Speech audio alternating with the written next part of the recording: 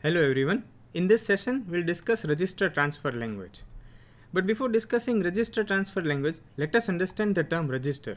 Now you are aware about the term register as you studied in digital electronics subject. What is register?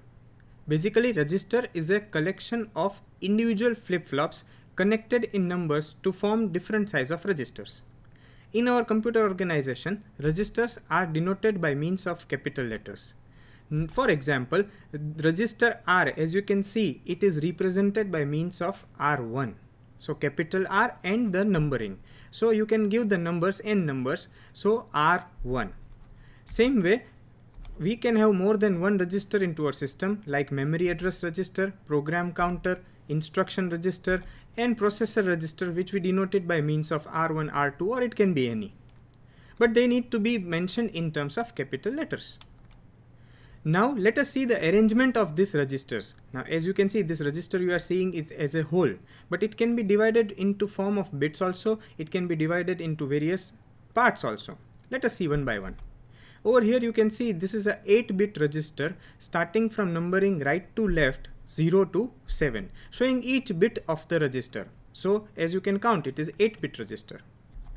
Now same way this register can also be denoted in form of R2 as you had seen, but we can denote the numbers instead of showing them individually. You can simply note down the numbers from right to left that is 0 to 15. So over here you can see that the size of the register is of 16 bits, so 0 to 15.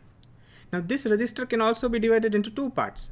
That means higher order register and lower order register. Now moving from right to left, you can see that this PC register is divided into two parts that is 0 to 7 bits that is PC lower, L, L stands for lower. So PC lower and 8 to 15 bits. So it is PC higher. That means this program counter can be used in two parts, higher order bits and lower order bits.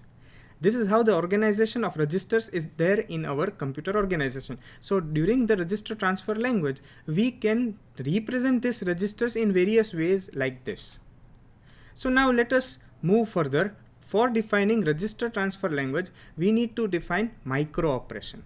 What is micro operation? But before discussing micro operation, what is operation?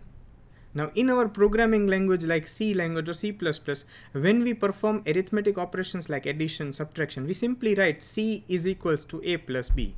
Now in that what is operation actually?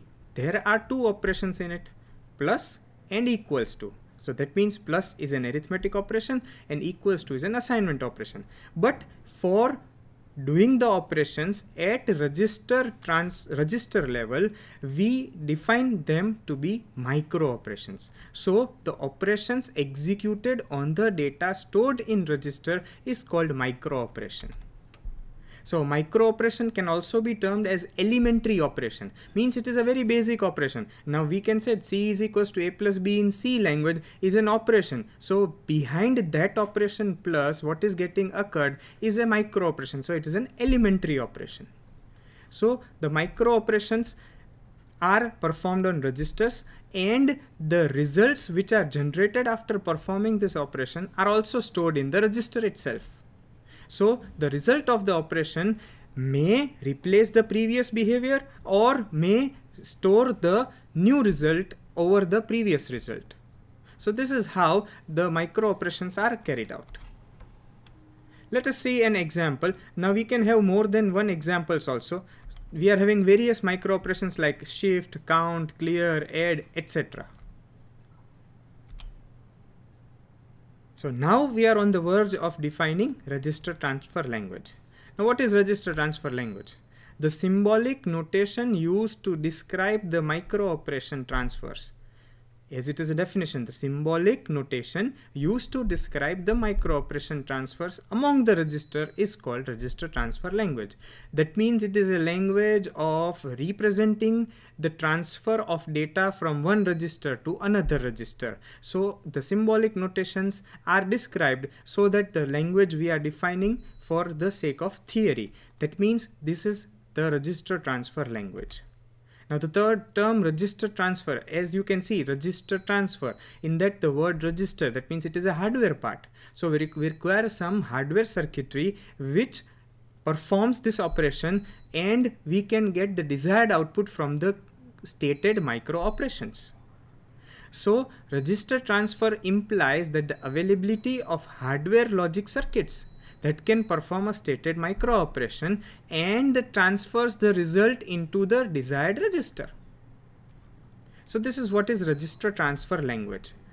And again, as it has been said that it is a symbolic notation. So it forms a sequence of operation. That means while performing C is equals to A plus B, there are many operations carried out behind the scene. So those micro operations will be performed, loading the data from memory, putting them in some processor register, again loading the new data and adding the uh, uh, adding the data to the processor register and storing back the result. So there are many such background operations, micro operations carried out. So that is what we are going to represent it by means of register transfer language. So let us see register transfer. Now information transfers from one register to another register is designated by means of symbolic form. So how to represent it? Let's see one example. And this R2 arrow R1 means what? The content of R1 is transferred to the content of R2 register and it is denoted by an operator named as replacement operator. As you can see, I told that the content of R1 register is transferred to R2 register. That means the previous content of R2 would be overridden by the new content of R1 but that doesn't mean the content of R1 would be deleted. It will remain as it is. So the register transfer from one register to another register is designated by symbolic form by means of an replacement operator. So it is termed as register transfer. So it denotes a transfer from register R1 into register R2. Let us see an example. We are having a 4-bit R1 register containing 1101 and we want to transfer it to our R2 register. So it will be performing bit by bit. So the, the data is transferred from register R1. Bits are getting transferred as you can see. So now R2 contains 1101. So previously R2 may contain whatever, but now after performing this operation, R2 will contain 1101. So this is how the register transfer will take place. And the important notation in this is this operator, arrow operator, or it is also termed as replacement operator. And you need to remember that the content or the or data would be transferred from right hand side register to the left hand side register. It is from right to left. So r1 the content of r1 would be transferred to r2 now this was a normal register operation but this will not perform without any condition so if I want to transfer the data from one register to another register, it will not perform without any type of condition. So we need to put some control because we know that our control unit there is present into our computer. So that control unit will transfer some signal to the register to perform the load operation or we can say the transfer operation. So that is what we are saying that register transfer using control function. So normally we want transfer to occur only when predetermined condition is defined. That means if then, as I told, controlling. So if then, if p is equals to 1, then on and only then transfer the content of R1 to R2. So this is, if p equals to 1 is a predefined condition. Otherwise the operation will not take place. So let us see what is control function. Now this control function is a boolean function whose value would be either 0 or 1. Now this value would be obtained from the control unit. Control unit will send the signal to this function and based on the value of this boolean variable or function p based on that the if it is 0 transfer will not occur. If it is 1 transfer will occur. So this is denoted by means of p colon r2 arrow r1 that means when p is 1 as you can see when p is 1 content of r1 will be transferred to r2 so as i told you that means without without control unit it wouldn't happen so let us say we are having some control circuit now when this control circuit will send the signal P, that means P means 1.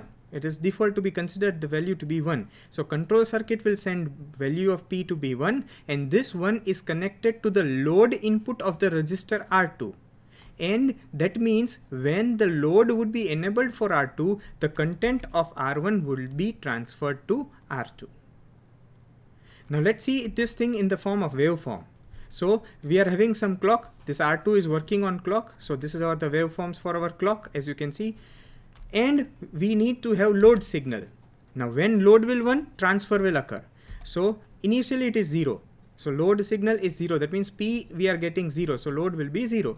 Now immediately once we get at time t, we get some hikes, we get some high signal on load.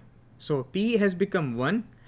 So now it will remain 1 till t plus 1 and once the clock is t plus 1 this load signal would become 0 and during this time when this time t plus 1 will occur when the signal is going low at that time the transfer will occur this is what is to be remembered very carefully. The transfer will occur only when the signal goes low. It will not occur when signal goes high.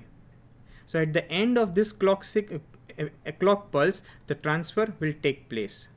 So this is what is register transfer with control function. That means register will perform its transfer operation only on some condition and that condition we are terming it to be control function.